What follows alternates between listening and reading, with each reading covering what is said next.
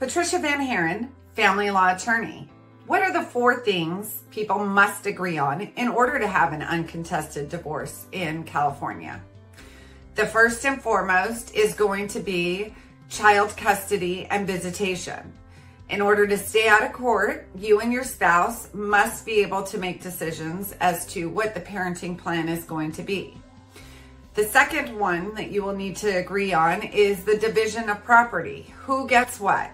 And will there be an equalization payment made? Will the house be sold or will one spouse buy the other out of the house? The third is support. Whether or not there's going to be child support paid to one of the parties or whether there's going to be spousal support paid. The final one is going to be your date of separation.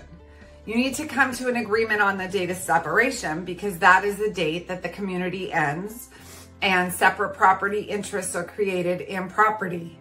if you're unable to come to an agreement on all these items, the court may have to hear your case and therefore it would be a litigated divorce rather than an uncontested divorce.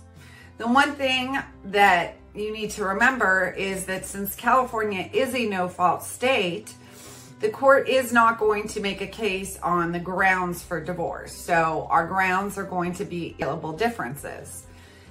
And as long as both parties cooperate together to come to resolutions in regards to child custody, property division, your data separation, and the division of assets, and whether or not one party is going to pay for support, then both parties may enter into an agreement and that agreement will be filed with the court and the parties will be able to get divorced.